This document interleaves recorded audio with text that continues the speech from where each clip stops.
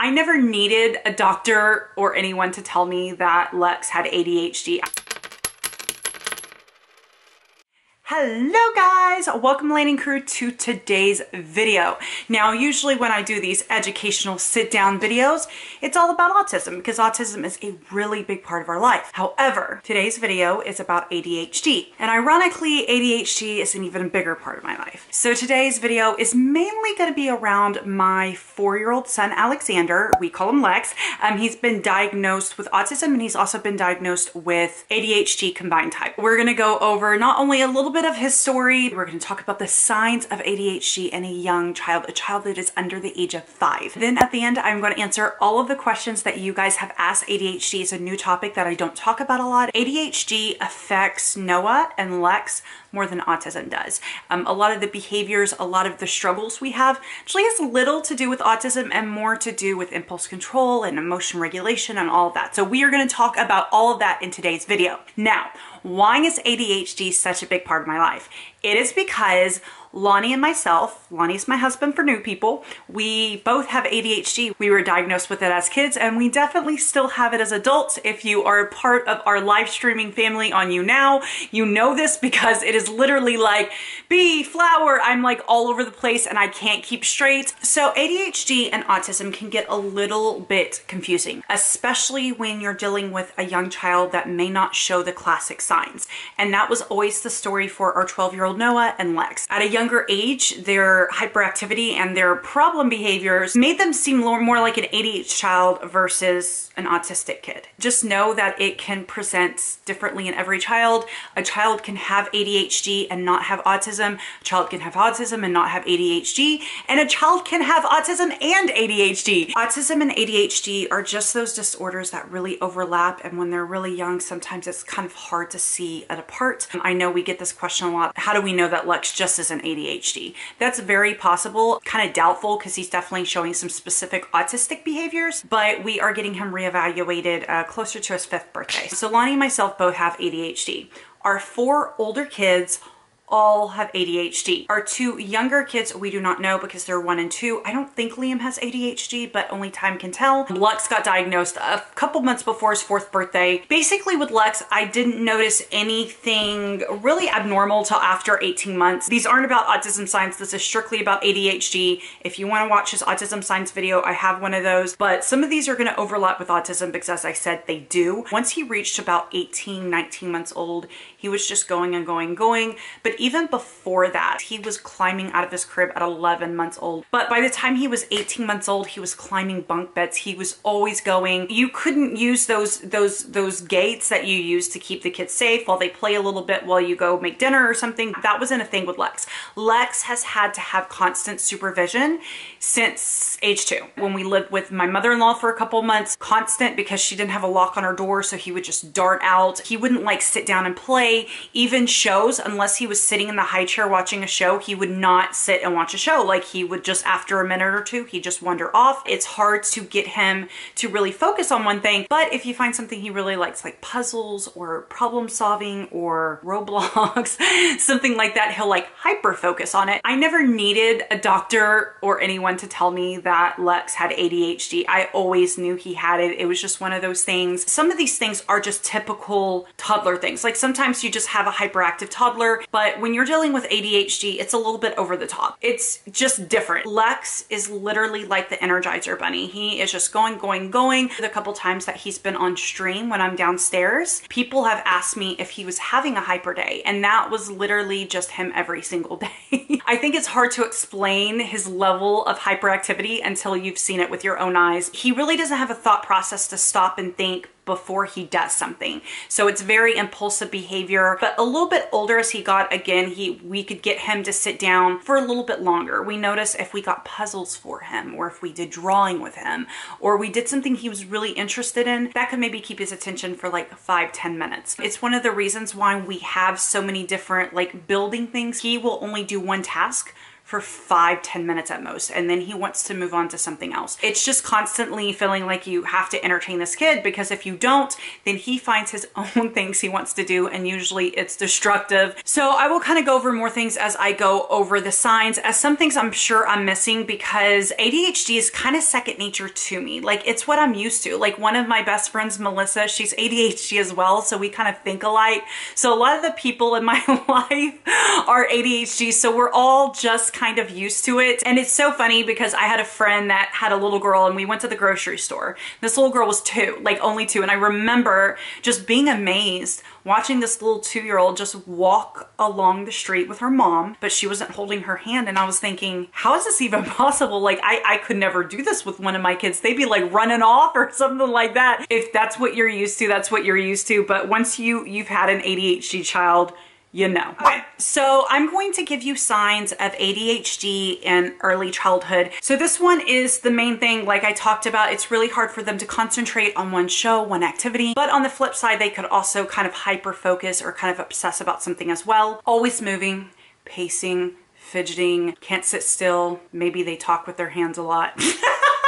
Reading these guys, I was like, oh my God, I'm so ADHD. they might have a hard time even like sitting down and reading a book to them. Lex doesn't have a really hard time with the books. He seems to do pretty good with that. Um, so another thing is issues with taking turns. If they're a little bit older and they're not speech delayed, they might like interrupt a lot or talk over people. I have that problem so bad. They might cut in line, grab toys. They don't want to take turns. Just a lot of impatience. It looks like a very impatient child. They might talk a lot or make noises. So if they aren't talking, they're making noises of some sort. Makes a lot of careless mistakes. Of course, the biggest one is hyperactivity, but it's kind of like more than hyperactivity. It's kind of like you've given your child like a, a a can of icing every morning before getting started. I did get that question a lot if we let Lex have sugar and no, Lex is the one child that reacts the worst to sugar. It's been like that for a while. With the recent issues, we've just had to make some really hard changes with him and one of those was definitely sugar intake. I'm not gonna say there aren't ever a time like he's snuck a sip of soda or something, but we don't let him have those drinks. We don't let him have juice. He has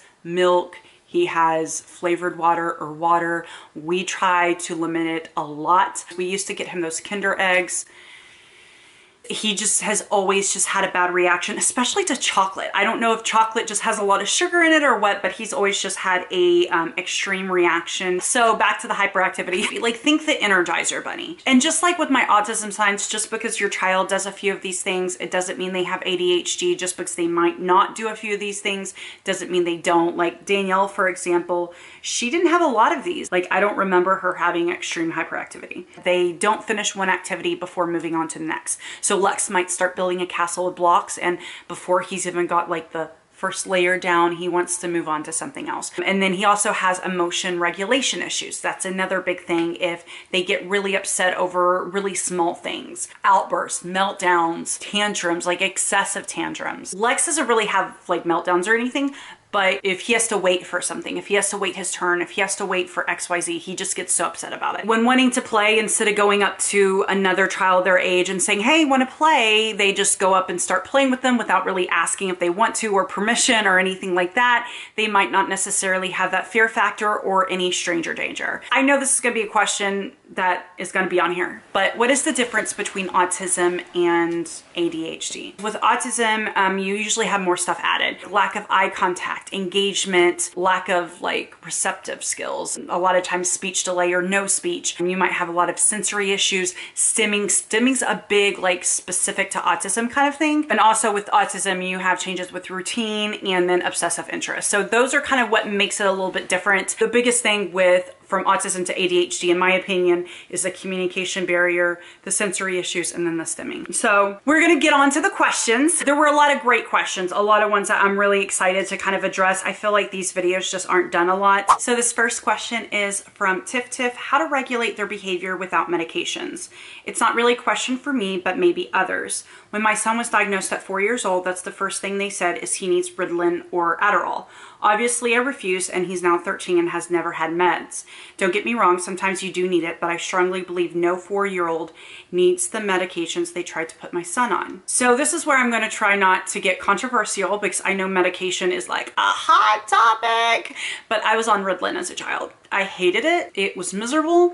It made me sick to my stomach. It made me like a zombie. I did not like it. And I was on it for a couple years until I finally kept begging my mom to take me off of it and she agreed to. I'm not gonna say what other people should do with their four-year-old, but we will not be putting Lex on medication. Not until he's at least six. And that's only if it's affecting his quality of life or his education. Those are two big things for us that we're like, yeah, let's step in. If he's just struggling and just needs some redirection, even if it's constantly, we want to do that because I do believe that their brains are still developing so, so much. It's one of the regrets I have with Noah. So that's just kind, kind of my opinion. If you do something different or you feel something different, that's completely fine. That That's just for, for me. So Tiff, I, I do agree with you, girl. Some great ways to regulate their behavior without medication is to just be careful what they're watching. Just the general things that we don't want to do that are hard to do. Make sure that they're not watching anything violent, anything that could get them worked up. Let them run out and play exercise. I can tell you once we started to take Lex out every single day, even if it was just around the block real quick, that helped a lot and we saw an improvement right away, like literally that day.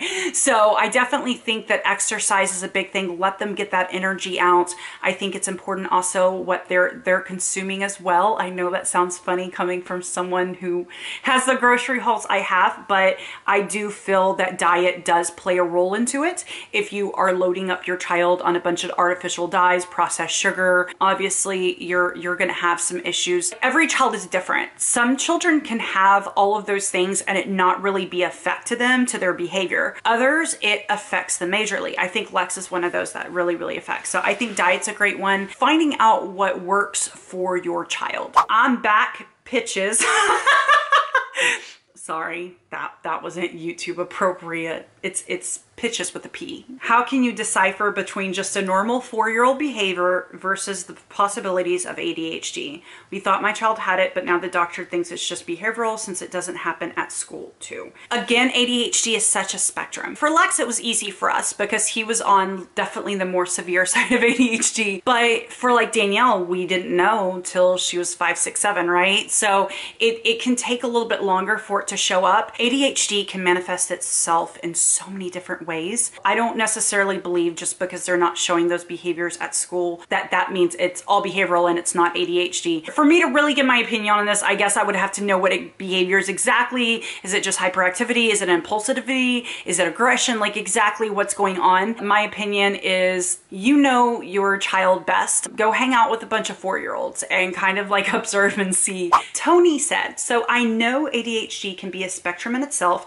How is Lex affected by it? And what are your next steps to helping him. I feel like Lex's life is kind of ruled by ADHD right now, from his sleep issues to his aggression, just everything. It's it's causing the most issues. He's definitely being affected by it. What we're doing to help him next is definitely get him on some type of medication, something to help him sleep. Sleeping is so important. It doesn't matter what you have going on, what label you have, what you think they have. Sleeping is crucial. That is our number one step. Um, our number two step is to kind of make sure that he's getting all the positive attention he needs. I think some social settings, some therapies will definitely help him. I know that there's going to be some parent training in there too. I know that there's probably things that Lonnie and I are doing wrong. That's why I love in-home therapies because for OT, I'll be able to see how she's helping him and how we can help him when she's gone. Also giving him the outlets he needs. Like if he needs a sensory break, if he needs to take a time out into the sensory swing and swing, or he needs to go play with something, then that's what we do. We, we've done a lot that accommodates to Lex. We've removed the superheroes. We've removed the sugar. We've given him more exercise. So I think just listening to what your child is telling you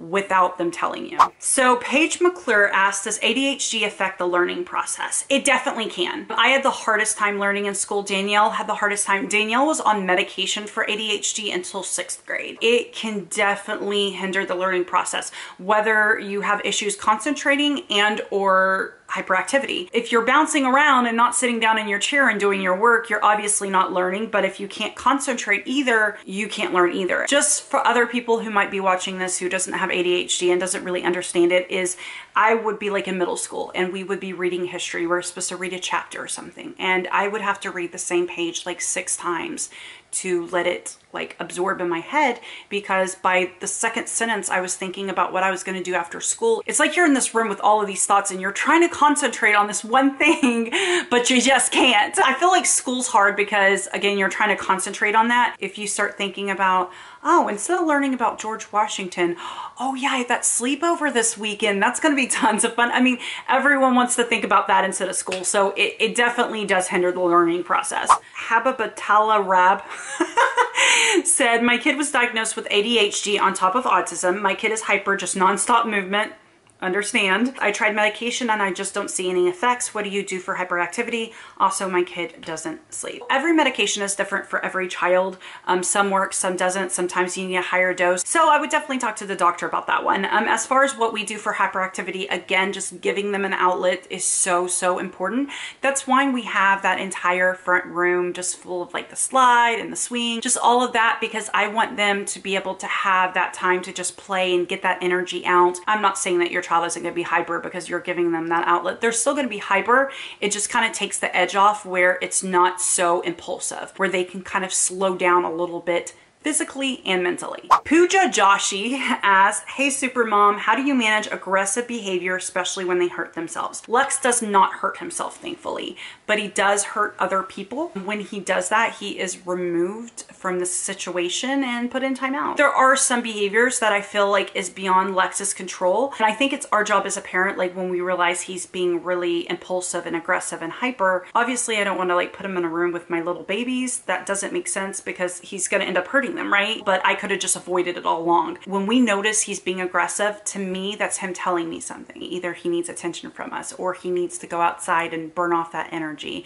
or he's bored. I think it's important to listen to what your kid's saying, whether they're saying it verbally or non-verbally. So Yosi Me said, my now 11 year old was actually three years old when his preschool teacher brought it up to me. He's currently on Adderall only on days he has school. I never give on weekends. We were the same with Danielle. Danielle wouldn't get it during breaks or summer or weekends or anything like that. She only took it on school days because it was to help her with her schoolwork. Danielle was on a milder medicine. I like Vyvanse the best. It wasn't something I felt like was super addictive. Every child reacts differently to different meds, different doses of meds, and you just have to do what's best for you. Um, Azara Cruz asked, what's the earliest kids can get diagnosed? My son will be turning four soon, and we've seen signs since he was two and a half to three, but brought it up to pediatricians and got no answers. Um, usually pediatricians aren't gonna touch it until they're older, until they can have like the teacher fill out a form as well. For us, we again knew around two and a half as well, but um, we had the psychologist evaluating him. I didn't even ask her to like evaluate him for ADHD or anything, but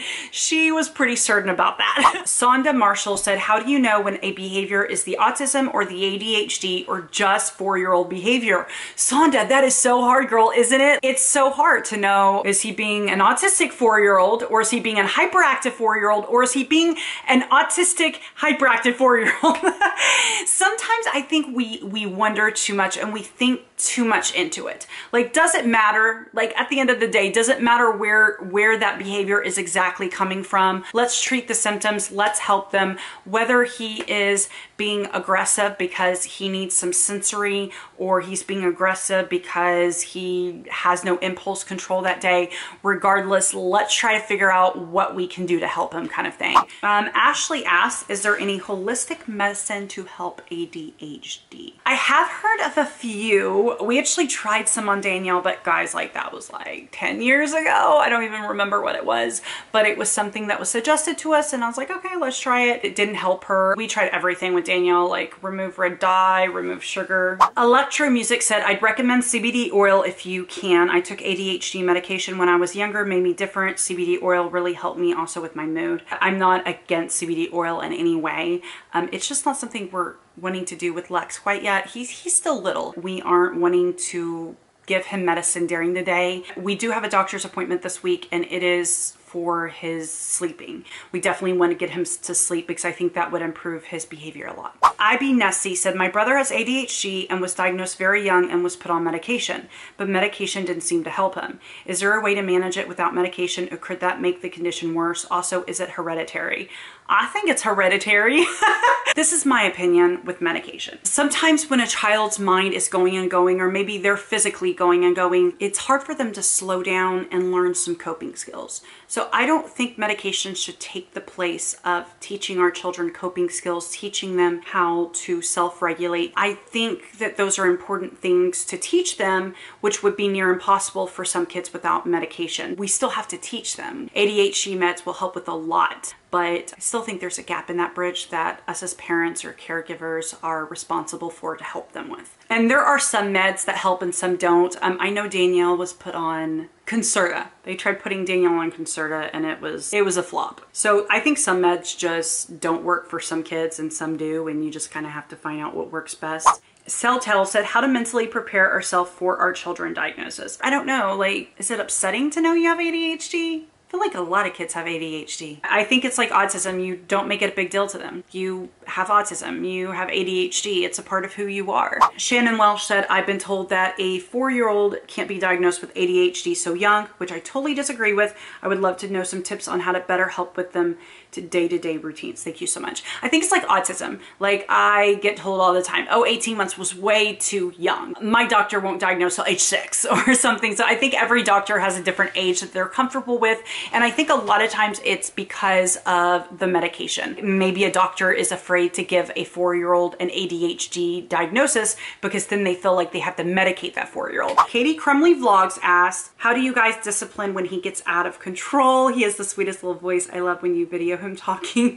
Thank you, Katie. So we discipline him by putting him in timeout, which is really hard. Putting an ADHD child in timeout is like torture to them, basically. We would put him in timeout in like the little area where the bikes are at, where we have like all the fence and stuff. He would pretend that he was like on some Power Ranger quest. So it was like not even timeout for him. So that didn't work. And then we had to start doing it where he would have to put his nose in the corner and then he just couldn't stand there for whole four minutes because we do the one minute for each year. He couldn't stand there for four minutes. So then he would sit down. I know some parents are like, no, you have to stand and you have to put your nose on the wall. I'm not that parent. He sits in a chair and he sits there for four minutes because that seems to be the most effective. We just have to kind of stand there with him and make sure he doesn't get out. I mean, he's he's four. Like if he pushes down Liam or he's being extra mean, we do make him go to his room because I think he's old enough to understand that like that's not okay and you don't get to push down your little brother. We don't do like corporal punishment or anything like that. I don't feel like it's effective.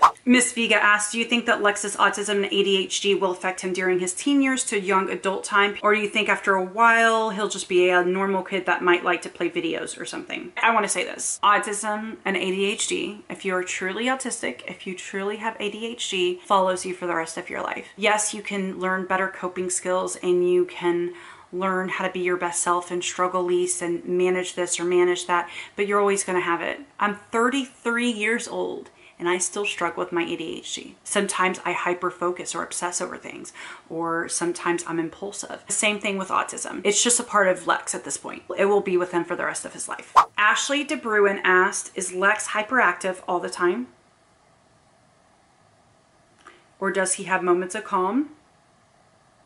Does sleeping count? When he's sick? When his iron gets low from not eating correctly? He's not a calm kid at all. The only time he's calm is when he first wakes up or he's not feeling good. Thank you, Ashley. Ashley's in Australia. I hope you guys are staying safe. Please, please stay safe. It is heartbreaking what's happening in Australia right now. So you are my thoughts, girl. Brittany Martin asked, does Lex hyper focus on anything? Yes, he definitely does, but he has more of a like distractibility about him than hyper-focusing. Haley Mars, was it obvious that he had ADHD? Mm-hmm. Haley said, my brother has ADHD, but it didn't come out the same way it does in most kids. But once he got the diagnosis, it made sense. It does make sense. And reading over the signs again, I was like, oh my God, I'm so ADHD which I already knew, but sometimes we're so used to seeing a certain behavior in someone or we're so used to a certain behavior in ourselves that we don't really realize that there's a name to it and there's a reason why we react or act that way. The Morales Familia asked, do you feel ABA will help some of Lex's ADHD behaviors also? I feel like if we did choose to go the ABA route, they would be able to address the issues that we are having as well because it's it's a behavioral therapy. The Roper family said, how do you deal with it? I know some people are overwhelmed with ADHD and think they're doing something wrong. Help. I think that's with anything. I think when something's going on with our kids, we feel like some, we're doing something wrong. I mean, I always feel like I'm doing something wrong every day, but I think it's important for us to know that um, as long as we're trying our best, as long as we are doing what we can to help our child and understand our child. I think a lot of it is about understanding each individual child because each individual child is different. I have four kids with with ADHD and they present all differently. They're on different severities. They have different issues. They have different ways that I can help them. So it's important for a parent to learn those ways to help your child. That is it. This is a really long video, but I hope it answered all of your questions.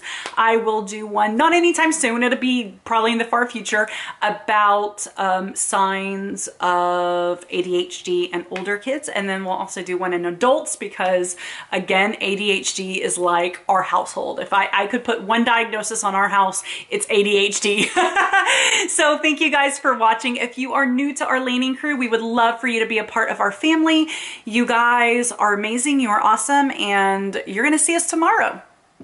Where you move, make me blind. You will always be there. There's no doubt in my mind. You will always be the heading out to see ya and leave the rest behind.